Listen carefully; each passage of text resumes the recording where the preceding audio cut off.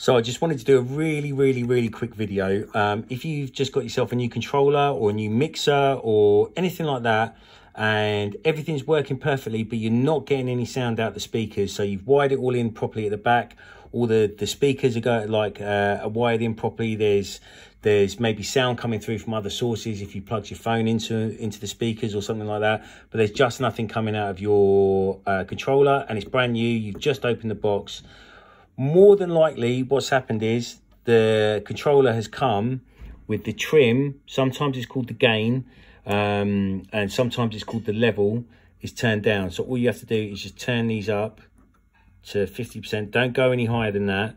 Turn them up to like 12 o'clock like that and now try playing the music. Because what happens is when you get a new controller these are all turned down so that when you start playing music through that controller or through that mixer, you don't instantly then blow your speakers by having all of these levels turned all the way up. So it's worth checking the gains or all the trims. Uh, you might have already checked the master, but just double check the master is turned up as well. Now, when you get a new controller, and you're plugging it into the speakers for the first time, don't smash this, the, the master level all the way up. Just bring it to there, bring it to there, like that.